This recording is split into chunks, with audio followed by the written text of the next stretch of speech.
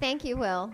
Now we're going to switch over to another First Amendment issue relating to the prohibition of interfering with hunters who are on your property under hunter harassment law. Anthony Marr has a degree and is the author of Omniscience and the Human Destiny and Homo Sapiens Save Your Earth.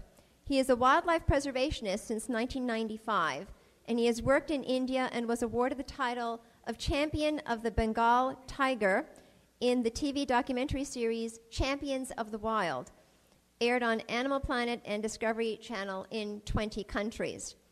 Having been, on the front, having been a frontline anti hunter since 1995, he plans to launch legal challenges against state hunter harassment laws for violating the Constitution. Welcome, Anthony Marr.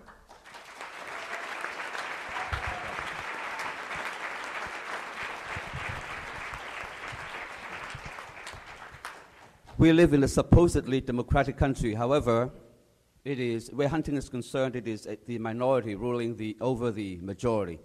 The percentage of hunters in this country is approximately 5% of the population.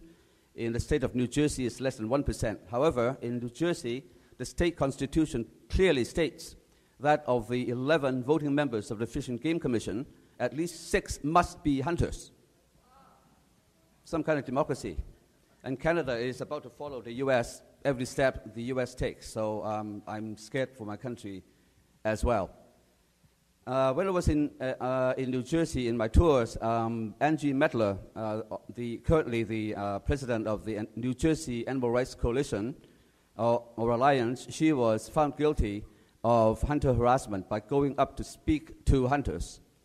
And uh, she has been since then labeled as a domestic terrorist. And she is as peaceful a person as anybody in this room and it, it is, and justice is totally miscarried in these cases. However, tonight I'm treating the case of Jan Haagensen, and I would like you to just imagine this happening to you. You've been living in a farm in Pennsylvania, western Pennsylvania, for 30 years.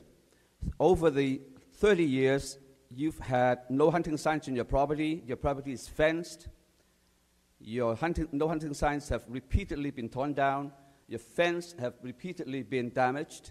Hunters have repeatedly violated your property. You have asked them to leave and they won't.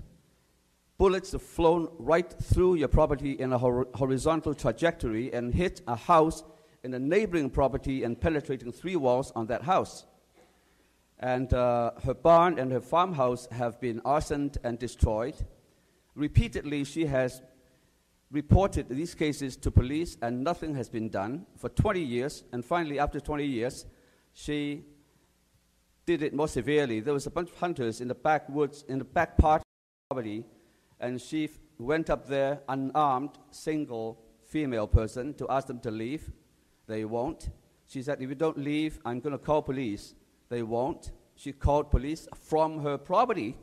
The police came did not take a statement from her. The police took st- statements from the hunters, and uh, and then later, a few days later, she found hunters shooting from the road, which is totally illegal. Even hunters uh, don't uh, go for that. She also told these hunters not to do that, and one of the hunters, with a loaded rifle in his arm, walked up to her car and threatened to shoot her and her mother on the spot. And she says, You can't do that. It's against the law. He says, I know where you live. I'm going to come tonight and get you. She called the police on the spot. Police took half an hour to come. And uh, once again, did not take a statement from her, took the statements from the hunters. In several days, she received five citations for nine counts of violation of the hunter harassment statute of Pennsylvania. After a prolonged series of trials lasting for three or four years, she was found guilty of all nine counts, including two counts of felony. She, unfortunately, they picked on the wrong person because Jan Haagensen happens to be an attorney at law. She took this to an appellate court and fought this case. The appellate court could follow two, two uh, courses. One is to prove that there was no evidence to support that she was guilty of any of these hunter harassment acts. And uh, secondly, they could overturn the hunter harassment laws on its face in Pennsylvania. And they didn't even have to go the second. They have found absolutely no evidence against her in even in the execution of the Hunter Harassment Act of Pennsylvania itself. So she did not get that satisfaction of getting the Hunter Harassment Act overturned in Pennsylvania. So she.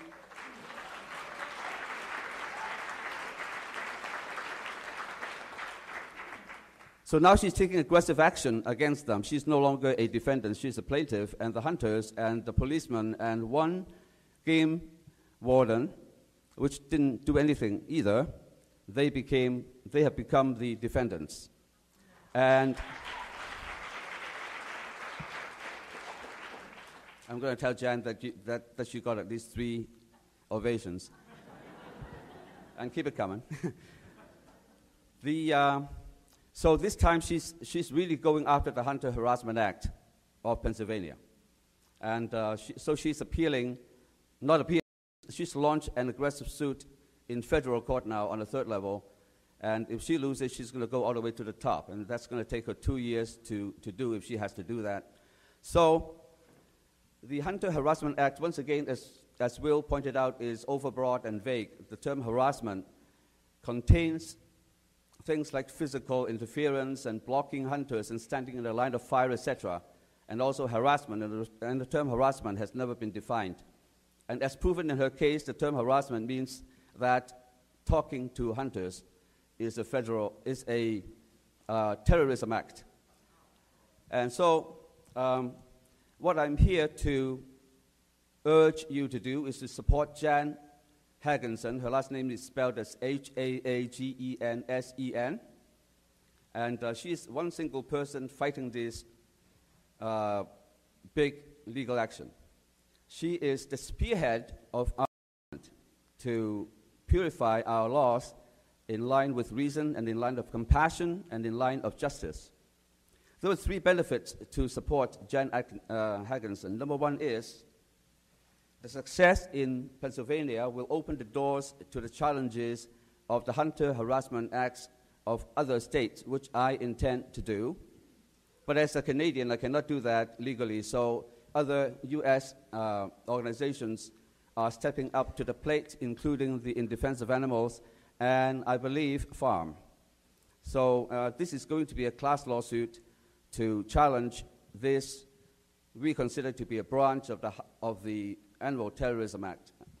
And um, the second benefit would be uh, if we can undermine the Hunter Harassment Act, we will undermine the Animal, Te- Animal Enterprises Terrorism Act. And th- if we can support her to win this case, she promises me to serve as our pro bono lawyer. So let's do that.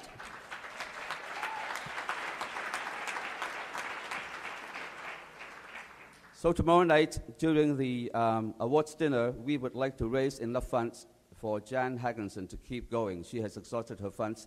But tomorrow, if I get a chance to speak for her, I will tell you exactly how much money she has already lost, how much civil liberty she has already lost, and how much she needs in her future course of action. So please pay attention to that and be generous to her. Thank you very much.